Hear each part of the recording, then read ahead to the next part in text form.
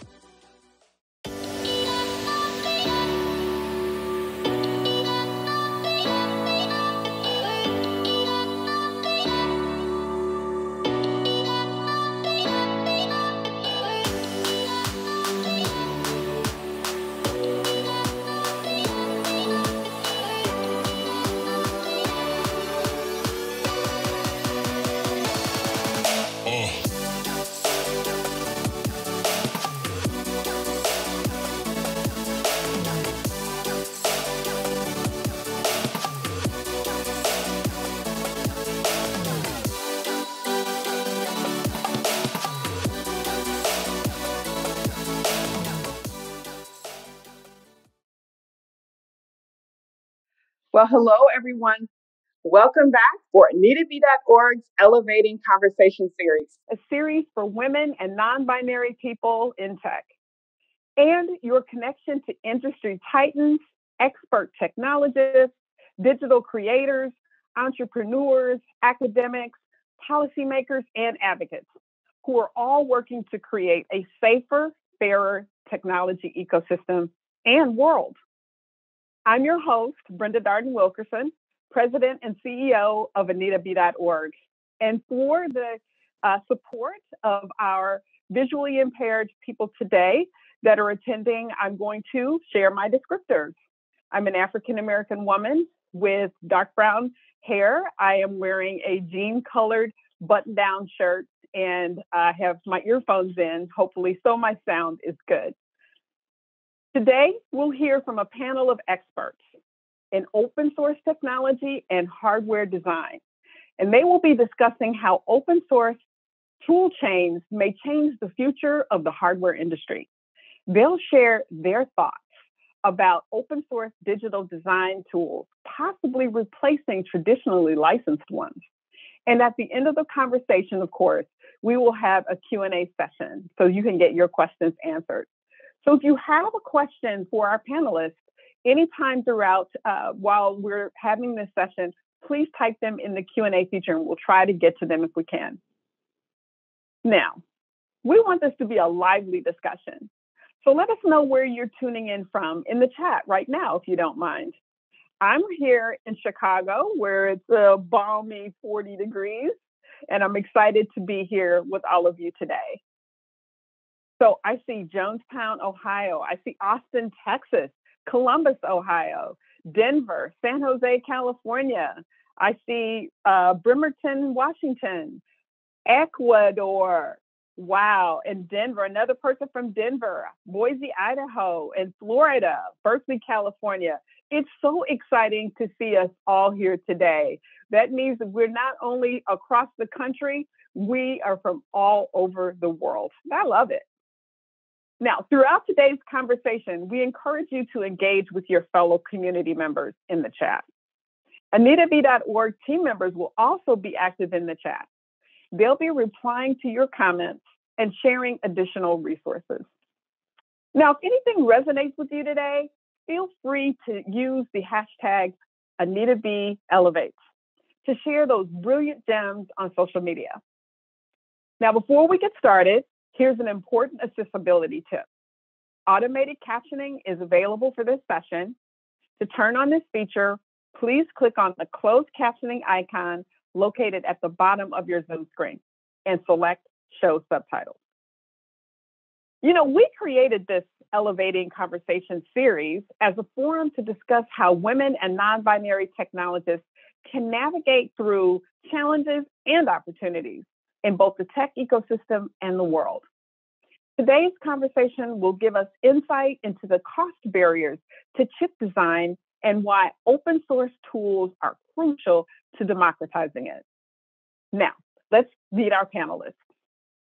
First, we have Cindy Chen, who is a design verification engineer at Google working on the Open Titan project. the first open source project for silicon root of trust. She holds a BS in electrical and computer engineering from Georgia Institute of Technology and an MS in electrical engineering and computer sciences from the University of California, Berkeley. Welcome, Cindy. Next, we have Jiwon Cho, who is a sixth year PhD student at Brown University. Her thesis work is on the software and hardware co design of concurrent data structures with near data processing architectures. And for her thesis work, she has used and contributed to an open source Gem 5 architecture simulator, SMC Sim. She received her bachelor's degree from Rice University, and she was a recipient of the Cadence Women in Technology Scholarship in 2018. Welcome, Jiwon. Our next panelist is Vidya Chhabria, who is a fifth year PhD student at the University of Minnesota. She works on the Open Road project, which aims to develop an open source, no human in the loop EDA chain. She hopes she holds a Bachelor of Engineer degree from MS Ramaiah Institute of Technology in Bangalore, India, and an MS in Electrical Engineering from the University of Minnesota. She has been awarded the Louise Dosdall Fellowship at the University of Minnesota and the Cadence Women in Technology Scholarship for the 2021 academic year. Welcome, Vidya, and congratulations. And finally, today's moderator is Deborah Soung. Deborah is a platform engineer at SiFive, a company that specializes in producing custom intellectual property using RISC-V and open instruction set architecture. At SiFive, she has worked with the Risk Five Foundation and CHIPS Alliance. Deborah currently develops tools for Chisel, an open source hardware description language. She holds a BS in electrical engineering and computer sciences from the University of California, Berkeley, and an MS in electrical computer engineering from Carnegie Mellon University. Welcome, Deborah and greetings to each and every one of you. Thank you so much for being here. So, we appreciate you taking time to be with us today, and I'm eager to learn all that you have to share on open source tools that will affect the hardware industry and EDA vendors. So, let's jump into the conversation. Deborah, take it away. Thanks, Brenda.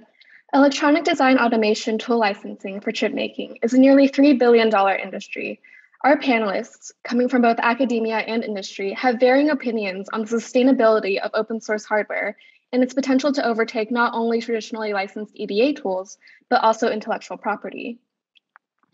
Electronic design automation tools consist of a wide range of software tools used to design and verify chips.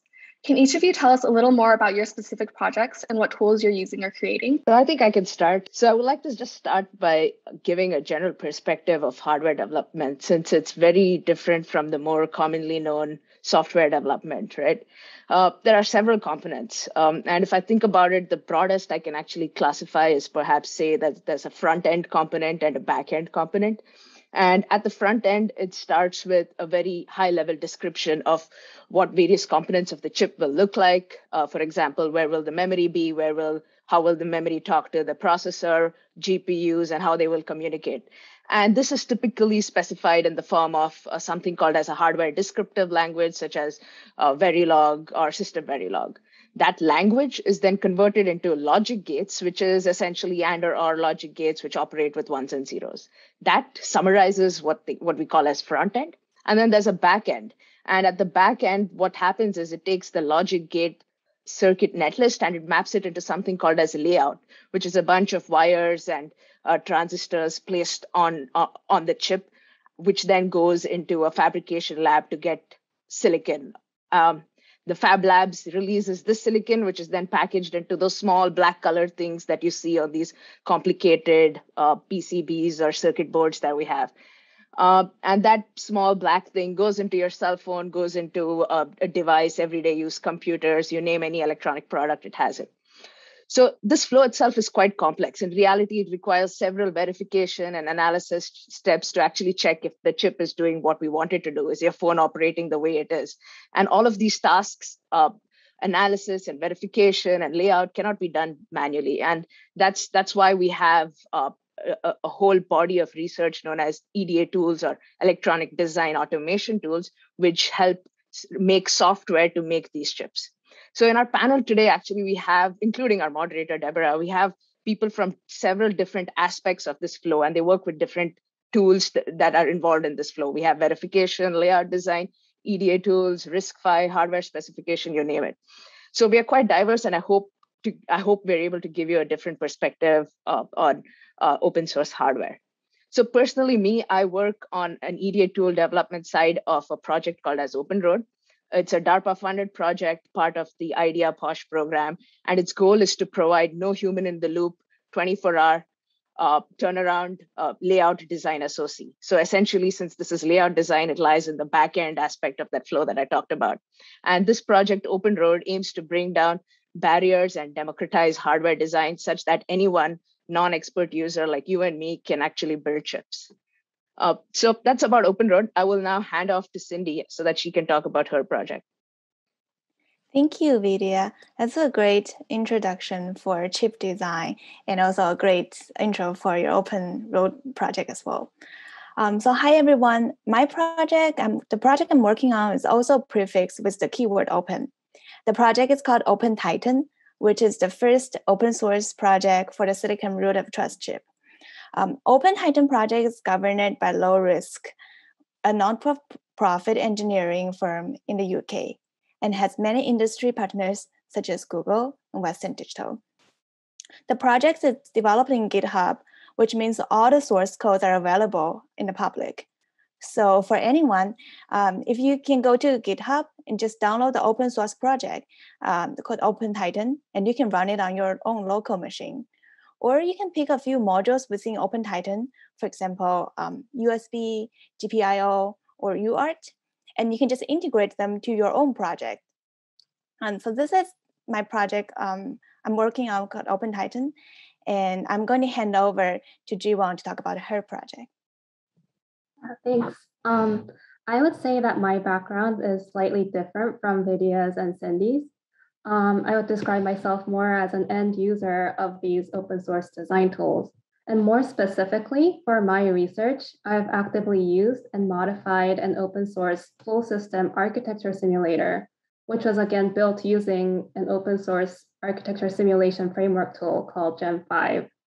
So in hardware design, these full system architecture simulations are often used to verify the functionality and sort of evaluate the effectiveness of hardware modifications within the context of workloads actually running on a full system including the full system software stack, like the with along with the operating system and all, before an actual physical hardware chip is available and ready to use on a real system. Yeah, so that sort of like describes my work. I'll hand it back over to Deborah. Thanks, Jiwon. So now we've heard a little bit about how uh, chips are made. So let's talk about the challenges of making hardware. What does democratizing chip design look like, and how can it solve some of the challenges faced by the hardware industry? Why is it so hard to make a hardware chip, and why does this take such a long time? Why couldn't we just release a, release a product as fast as software? Um, I think one reason I want to bring up today is about hardware bugs.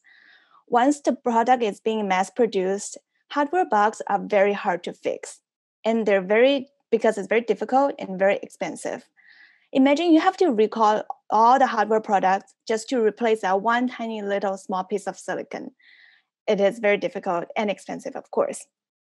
So, to prevent, or let's say more conservatively, to minimize this from happening, I believe our industry put a lot of efforts into eliminating bugs in the early design verification stage or in the early engineering sample testing stage. So, on the other hand, software products are much faster to produce. Partially it is because of all the open source library in different languages, such as the Python language has a lot of dictionaries and also C++ and etc. So imagine if hardware industry also has lots of open source and pre-verified modules that are bug-free and being and has been being used in many generations already. That would definitely accelerate the hardware development cycle. For example, In the future, um, when OpenTitan chip is widely used in the industry, a hardware developer who wants to build a computer and need a USB port, he or she can just um, take the USB module from OpenTitan and put it in their own design and save a lot of extra design and verification efforts. So this is my opinion for this question. Um, I will hand it over to Jiwon. Um, just like what Cindy mentioned, designing hardware chips and getting a, a physical hardware chip that works and is ready to plug in and use takes a really long time. So just like I mentioned earlier, in hardware design, these higher level architecture simulators are used to evaluate and verify the expected performance gains of new hardware across various workloads within a full system software stack before this physical hardware chip is available and ready to test out on a real system. So we can say that these simulators exist in order to sort of aid the process of hardware design and verification. But the problem is building good, accurate, and fast simulations is really hard. The cycle accurate simulators are by nature really slow. So for example, if I have a program that could run maybe in one second on a real system, could possibly take several hours to run on a simulator because on a simulator, every single cycle of the entire system and all of the architectural level activity at that cycle have to be simulated in order to eventually provide accurate information about that execution. And because building fast simulations and accurate simulations is hard, but yet these simulations are often essential in the hardware design, I know that major hardware companies have internal teams that are dedicated to building fast and reliable simulations for in house use. But I'm not really sure how smaller groups or individuals would deal with this problem without open source tools. So I'm sure having fast and reliable open source simulation tools can help out for sure. I'll then hand it over to Vidya. Thanks, Jiwon. Those were really interesting perspectives. Um, Cindy's modular USB design idea and Jiwon's uh, hardware architecture simulators are really interesting perspectives of uh, democratizing chip design. So to come to the question of why making hardware is so difficult, uh, I think the short answer is in terms of risk and cost involved. The cost of designing chips itself has skyrocketed over time. Cindy talked about the existing of hardware bugs, which are very d- difficult to fix. If you think about a company, a big a, a, a, chip design company which has the, one of these bugs uh, in their hardware, it costs them millions, if not billions, of dollars to get that fixed. So only well-resourced expert design teams have manpower and financial bandwidth to actually build real ASIC chips. There are cost constraints at designing the chips and at fabrication. The fabrication of a single chip itself takes th- thousands, if not millions of dollars, and a mistake can cost a company a lot. The hardware bug can cost a company a lot. So major uh, chip design houses actually rely on several experienced designers uh, to work on making hardware due to that high amount of risk involved. There's every uh, every designer has somebody to verify the work, another person a backup to verify that, and a backup to a backup, and everyone's working together to get that one single piece of hardware out to silicon. So democratization of chip design aims to remove these barriers of cost and risk such that a layperson, you and I, can design chips without having to have a ton of experience and, of course, a lot of money. Uh, just like how we, we can do software quite easily. In fact, the democratization of chip design is OpenRoad's theme, the project that I work on. Uh, and OpenRoad aims to achieve democratization through the use through easy to use hardware tools that are available to the public, no human in the loop, push button, and correct by construction. Um, and uh, OpenRoad aims to achieve and achieves this by um, eliminating freedom of choice. And while eliminating freedom of choice may not seem something that's really good to all of us, in hardware design, where there is sometimes there is just too much freedom, a non-expert user who doesn't know too much about hardware design does not know what choices to make. OpenRoad uses a set of fixed parameters that layperson does not need to worry too much about to generate chips. And this way, it can achieve democratization. Uh, to summarize, I'd like to say uh, cost and uh, risk are the two key challenges in making hardware difficult. Uh, there's the other challenge, which is uh, expertise gap. And these are the three things what I would like to say make hardware difficult, uh, make designing hardware difficult. Yep. So I think all three of us shared our perspective. Maybe I can hand it back to Deborah for the next question. Yeah, thank you, Vidya. Um, so now let's take a closer dive into academia. So this question is posed to Jiwon and Vidya. What are the advantages and disadvantages of using open source hardware tools in academia? Uh, Jiwon, would you like to start us off? Sure. Um, as for me, I think there are only advantages for using open source tools in academia. In fact, architecture simulations play a huge role in evaluating research ideas in academia. And I think the trend has become that more and more research groups are now trying to open source their simulations, especially with artifact evaluation becoming a part of most conference proceedings. But I think in general, open source tools and making simulations open source provide the transparency of assumptions people take in their work. And so this provides the path for honest work and then also provides the path for making fair comparisons across new ideas that compare against prior work. And also it makes, it reduces like the efforts that are needed to reinvent the wheel if someone wants to build up on prior work.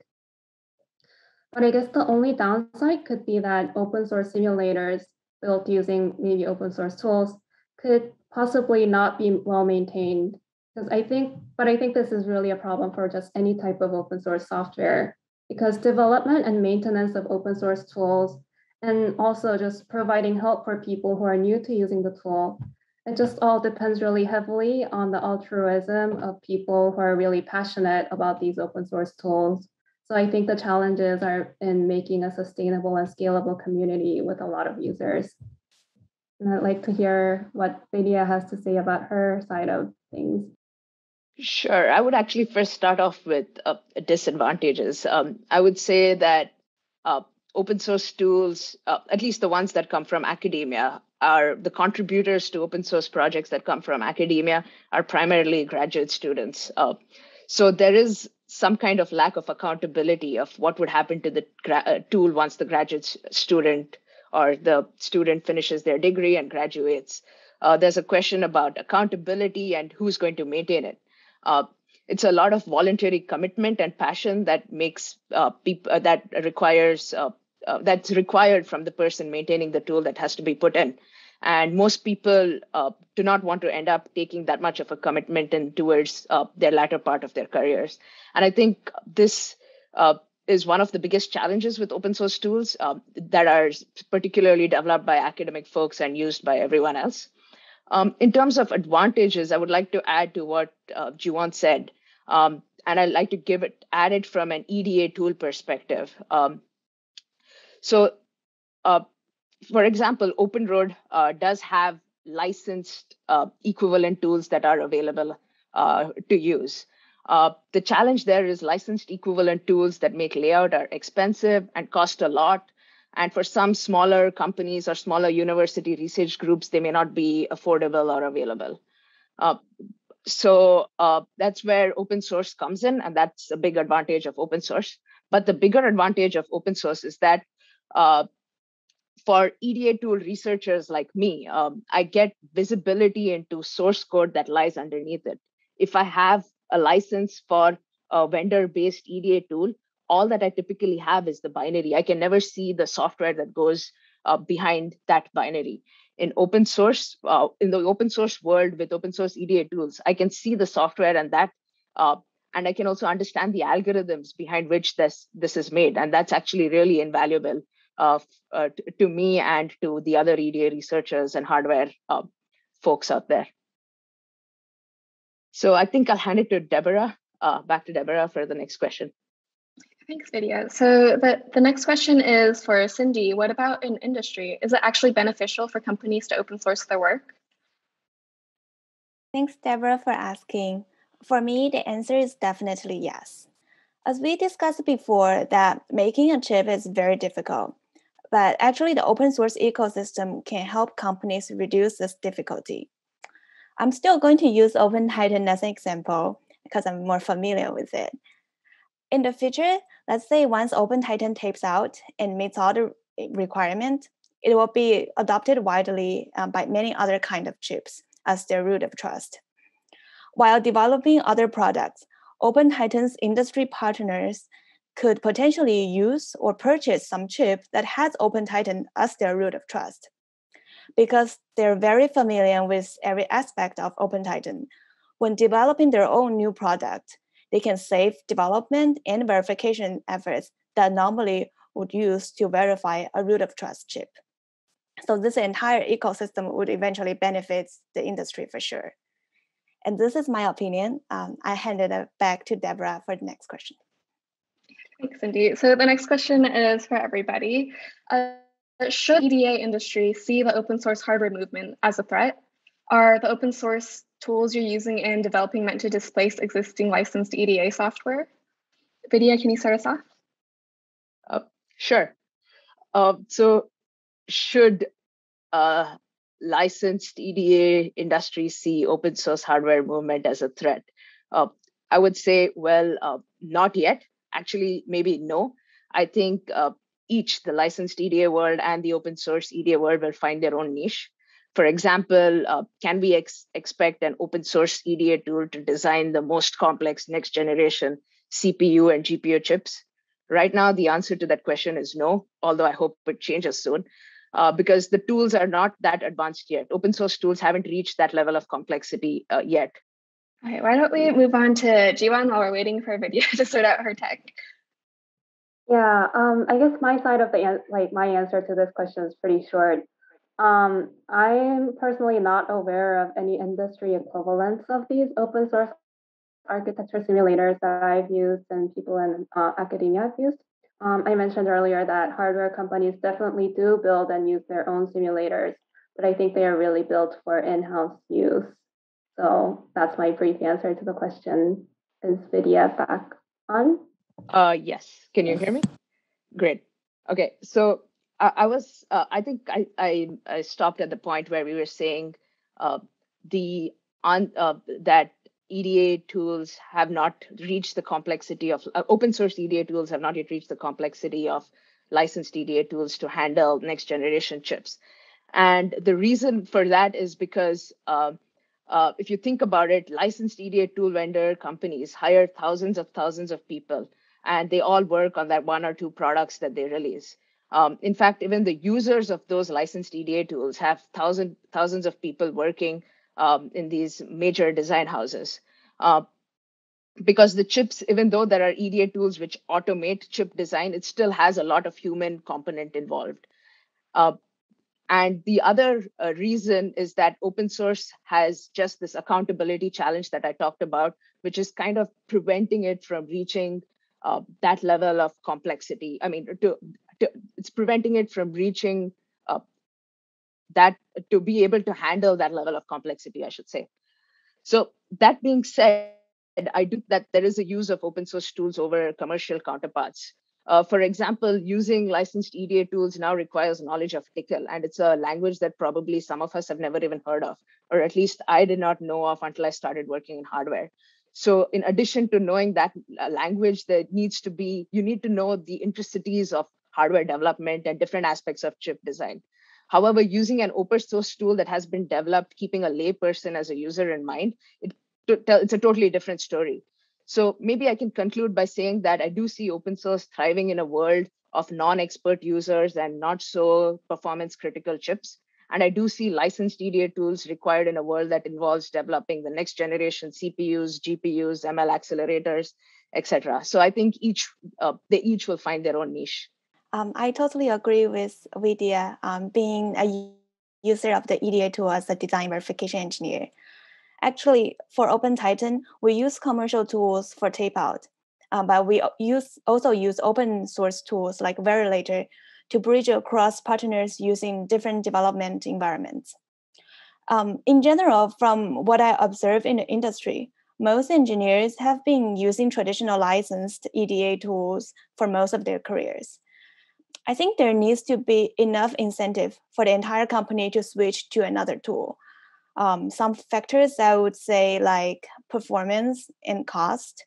Um, but for now, I think the EDA industry definitely has a lot of advantage in terms of performance. Yeah, this is my opinion.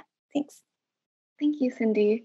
So, what do you all think the EDA market will look like in 2030? Will everybody be able to make a chip from their laptop? Uh, would you like to start us off? Yeah, sure. For as for designing the actual hardware that gets taped out, I think Vidya and Cindy might have better answers than I do. But speaking from an architecture level simulator person's perspective, I think having easy to use open source simulators can definitely lower the barriers to hardware design.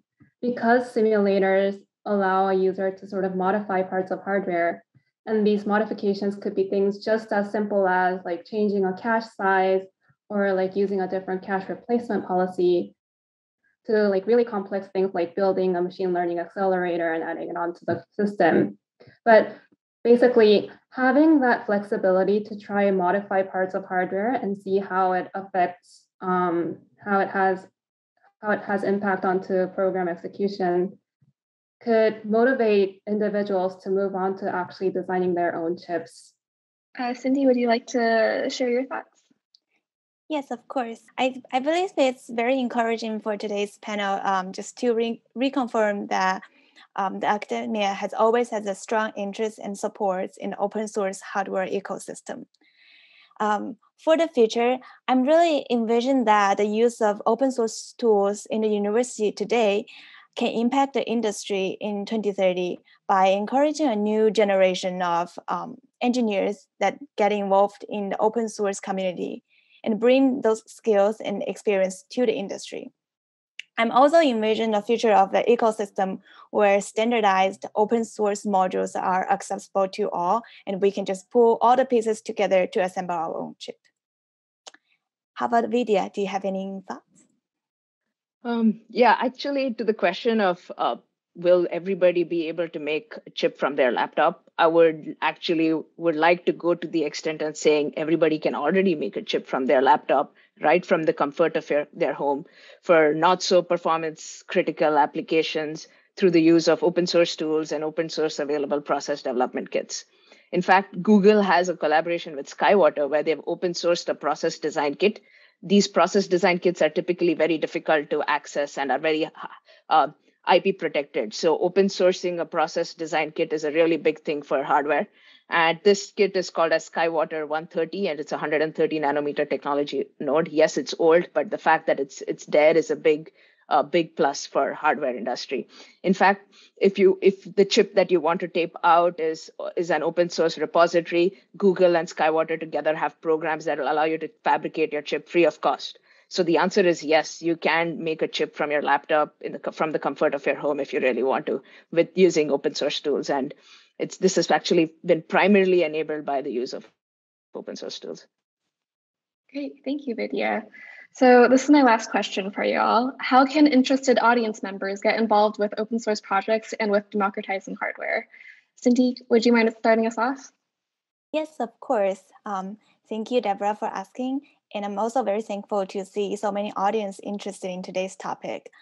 I believe to get more involved in open source project, I would encourage people to follow open source hardware organization such as such as lowRISC um, to stay updated with the open source hardware community. Also, open source project like OpenTitan is free for to for anyone to try it out, contribute, or make any general feedbacks. Um, this is my answer. I will pass it over to Vidya. Right. So uh, I do think that it takes a village to solve the most complex problems. Uh, and hardware design is quite a complex problem uh, to start with. So even a small contribution goes a long way. And contributions could range from using tools, providing feedback, if you're confident about what you're doing, making a pull request into existing tools, updating documentation, um, or even just sharing these projects on social media, LinkedIn, uh, Twitter, or even providing some feedback to open source tool developers, even if it's positive feedback, it does mean a lot and go a long way. Uh, so I think these are small ways in which uh, everybody can contribute, and it does really go a long way to solving this complicated hardware design problem. I can probably hand it off to Ji- Jiwon for final comments. Yeah, thanks. Um, as for architecture simulation framework tools, I think there are a couple of open source uh, simulation framework tools. I'm mostly familiar with Gem, familiar with Gem 5 because that's the one I've, that I've been using. But I think ZSim is also used popularly in academia, and then there's like a handful more. But one thing that I want to mention here is that I think it'll be really nice if these open source tools, not just architecture simulators, but like things EDA tools that Cindy and Vidya have mentioned, if these open source tools are introduced to college students, perhaps as they learn the relevant material in the classroom, I think it'll be great. I think Vidya and Cindy also mentioned things um, that align with what I think here. But like as for me personally, I was not that familiar with the hardware design process as an undergraduate. And I like even architecture simulations, I didn't even know that things like this existed until I actually came to graduate school. So having exposure, having that exposure to open source tools like these earlier on could really help students see and think more broadly about what they could do with a computer engineering background. Awesome. Thanks, Jiwon. So it looks like it's time to wrap up this part of our discussion. Thank you all for sharing your perspectives with us today. Now I'll turn it back over to AnitaB.org President and CEO, Brenda Darden Wilkerson, who will be taking a few questions from the audience. Thanks so much, Deborah. And thank you for this amazing conversation. I've learned so much. And thank you, audience, for your participation and your questions. And so I'm going to take the first question uh, from the audience uh, right now, which is how can, um, see, can you talk about how the trend towards custom chip design has been accelerated by the end of Moore's Law? Sure. So I can talk a little bit uh, about background on that. So the end of Moore's Law. So for Moore's Law, for those of you who are unfamiliar, is um, this law that Gordon Moore, I think back in like 1967, I might have the date wrong, but like in the 60s or something, noticed this trend that the number of transistors on a chip seemed to be doubling every two years. And um, a lot of people nowadays in the recent uh, recently um, have been of the opinion that Moore's law seems to be ending, that we may no longer be able to fit that many uh, transistors onto a chip. So this is for two reasons. One of which is uh, transistors used to be getting smaller all the time, uh, but recently we're down to like two or three nanometers uh, for a transistor. And if you get any smaller than that, we start running into like physical limitations, like literally like with electrons, like on the electron level. Um, and the other thing is the more transistors you cram onto a chip, the more and more power you're going to consume. Um, and uh, if we keep doubling the number of transistors on the chip, um, and this power is what's basically required to sort of flip the transistor. So transistors are like little gates that either let electricity through or won't let it through. And it takes power to switch them on and off. Um, so if we continue to pack more onto a chip, eventually, like I think they showed us this graph in school, but like the, we'll use so much power that our chips will literally have to be hotter than the sun, which clearly is not feasible. So, um, so uh, I guess back to the question was how is that accelerating um, uh, open source chip design? Is that the question? Um, uh, people are trying to find ways around uh, getting better performance on their chips other than packing more transistors on now because usually uh, the more transistors you, you put on a chip the more stuff you can do and you can make your processors faster which in turn you know makes your software faster. And if we're no longer able to do that we have to turn to different alternatives. So some alternatives are like how do we uh, write the software better to utilize more of our hardware at any given time? How do we create architectures that are power gated what if we look at something that doesn't rely on transistors at all? What if we look into quantum computing, for example? But the uh, fourth one, and the one that uh, I work most closely with, is uh, what if we made customized hardware? So accelerators, which is hardware designed uh, to be used for a very specific purpose. So um, using open source tools allows for, I believe, faster development of customized hardware. Um, I think the panelists uh, have spoken to lowering the uh, the entry barrier to being able to develop hardware and develop uh, customized hardware for your own needs. So I think the more accessible it is for people to make specialized hardware, the better performance they'll get for their specific needs. Um, and uh, yeah, that was not super coherent, but uh, open source open source tools are making it easier for everybody to develop their own custom hardware. Uh, so I think uh, I can talk about the kind of the first, the second point Deborah mentioned about, which is changes in process. Uh, the foundries too are changing. We started with first two dimensional. We first started with BJT, bipolar junction transistors, and moved on to planar MOSFETs. Uh, and now we had FinFETs, and what's next is something called as gate all-around FETs, which essentially is a three-dimensional version of your 2D uh, transistor, where the gate actually goes completely around uh, something called as a channel through which the current flows. And what that happens is that it allows you to get better control over the current and the channel that's flowing. And it will in turn allow you to use lower power supply voltages and then lower power um, uh, so that you don't make the chip as hot as the sun.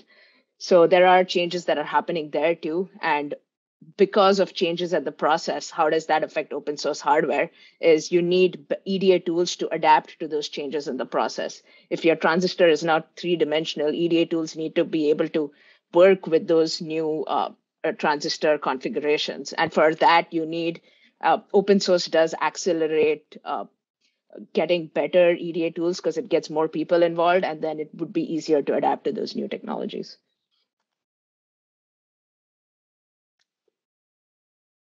yeah, I think that's Excellent. all I had to say. Yeah. Excellent. Anybody else want to join in on that? Part. I just want to add on to a small little bit as my own experience. Um, for most of part, when we have uh, EDA tool, we're always try to compare the performance um, because definitely we wanted the EDA tool to support as much complex a chip as possible in a very short amount in a shorter amount of time. So um, for the with the Moore's law being being pursued, um, the chip is becoming more definitely more complex, and the performance of an EDA tool is very crucial for our design verification flow. Thank you. Uh, thank you for that very thorough set of answers to that question. Um, so the next question is on OpenTitan project if I incorporate your project's GPIO USB on my chips, does fabrication do fabrication companies like GF and TSMC fabricate the projects? If not, how can we fabricate them? And then there's one more part.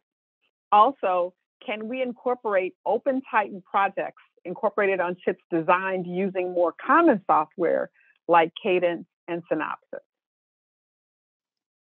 Thank you for your question. I guess it's directly to me. And um, so, to answer the first part of question, I believe um, we do still follow the entire chip um, design flows. So, once you incorporate part of the modules from OpenTitan into your own chip, um, we still need to go through the layout and then um, that process um, and then send it to any fabric, they should be able to produce it from their fab. Second part of a question um, are those are we are the design um, I believe that being using more common softwares like um, from Cadence or Synopsys. Um, I'm working on the verification side, so we do support Cadence Xcelium tool to do verification and also Synopsys VCS. Um, and I think I believe all the available tools, either open source or closed source, we have flows to support them. If it's if you find any tools that hasn't been supported in OpenTitan, um, please feel free to give it a try and drop some commit into our GitHub repository.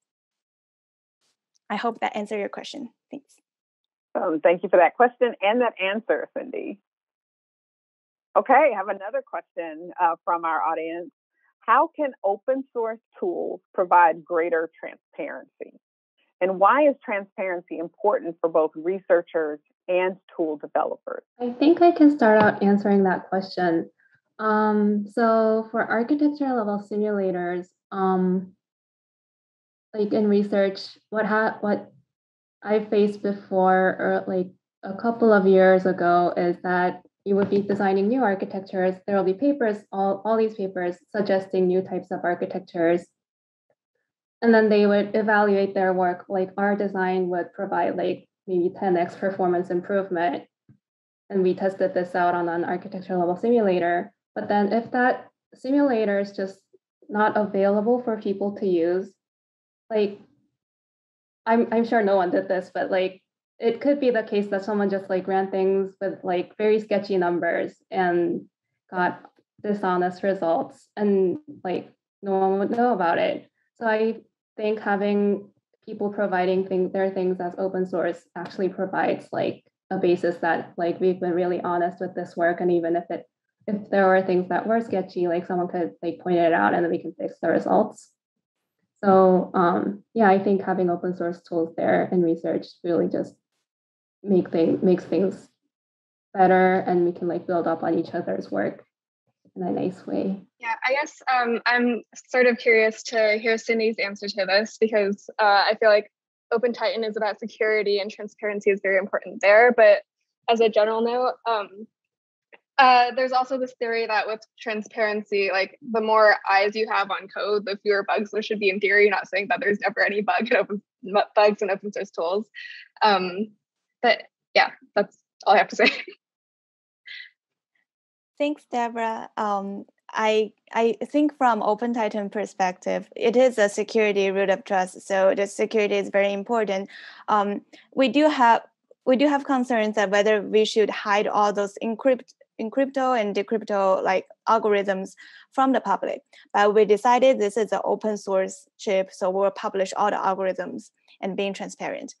And we have confidence that actually being open source will make it harder for attackers for the attackers to hack our chip because um, once this chip is being used by different users there's definitely more perspective in terms of um, the corner cases like what Jiwon mentioned and then how people from different perspectives will use it in a different way that um, can eventually help testing our chip to make it more comprehensive and to make it more safe and harder to hack.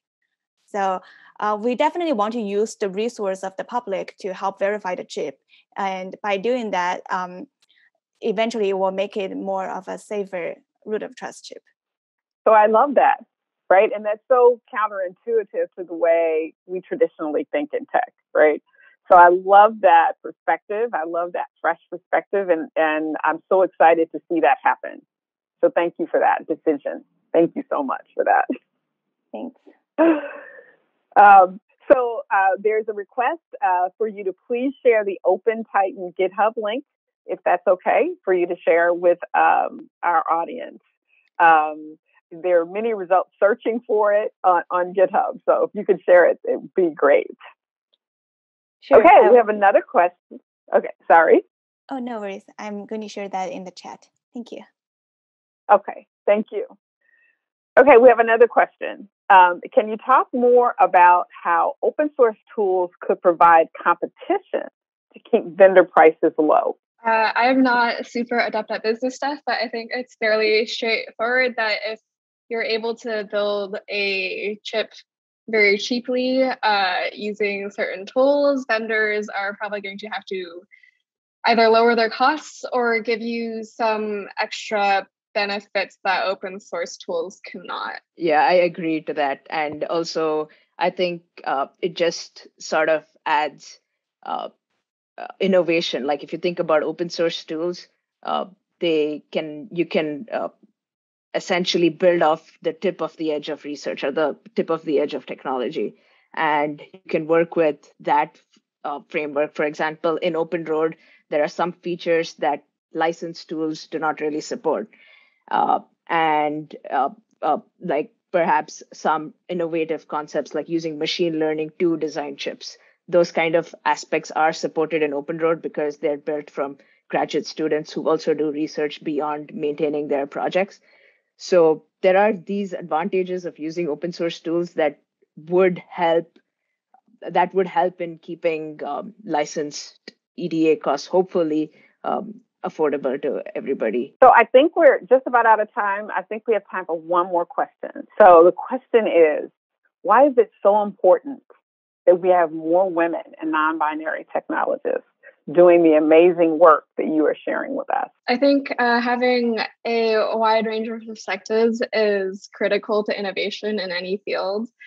Um, and I think people collaborate better in diverse environments as well. Uh, that includes like w- internally within companies, but also it's really important in our open source ecosystem to have everybody be represented and everybody feel comfortable sharing their thoughts and contributions. I'll just ditto what Deborah said.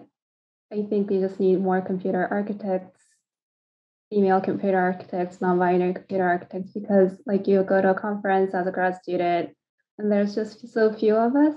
And I think I, w- I just want people to be more encouraged to come into this field if they really want to. Yeah, I also agree with what Jiwon and Deborah shared. Um, I would definitely love to see more female engineers join my team and developing the project with me together, either on the open source world or um, just building a next generation of chip. And I definitely believe um, we're all the use we're all the males and females are all the users for the chip and be, bringing more female engineers can definitely making um, the entire chip design more diverse and um, just bring different perspective with our unique background yeah to that maybe i can add and say that as a women in tech myself uh, I tend to look up to other women in tech as role models. And if we have more women in tech, we're going to have more people or more women join uh, non-binary genders to join uh, the uh, tech and it does take a village to solve uh, complex problems like hardware design. So the more people we have the much more better more diverse people we have more different opinions we have and we're basically much better at innovating things. Well of course i agree with everything that everybody said there. It's so important. And you all are amazing role models. You know, you're so right about the role models, right? Being able to look up to women in tech doing the things that you're interested in or didn't even know you were interested in. And so I just want to thank you so much for your excellence, for your hard work, and for your contribution to this area of tech and for being amazing role models for the rest of us. Um, so I just want to say we're out of time, unfortunately, for today. And so that's all the time we have for questions. But I want to thank everybody for contributing to this conversation, for being here. I want to thank you, Deborah, Cindy, Jiwon, Vidya, for sharing your insights on democratizing chip design with our community. And thank you to everyone who tuned in this week and every week for our series for women and non binary people in tech, presented by AnitaB.org. Now, if you enjoyed today's discussion, please consider donating now at anitab.org slash donate to help us do this great work. Our next Elevating Conversations event is exactly two weeks from today, Thursday, December 2nd at 12 p.m. PT. We'll be discussing how to navigate career roadblocks with a group of panelists who have a combined 80 years of experience in product management. Be sure to follow us on social at anitab.org to be among the first to know all the details. I'm Brenda Darden Wilkerson, President and CEO of AnitaB.org, and I'll see you all back here in a couple of weeks. Same time, same place. Bye.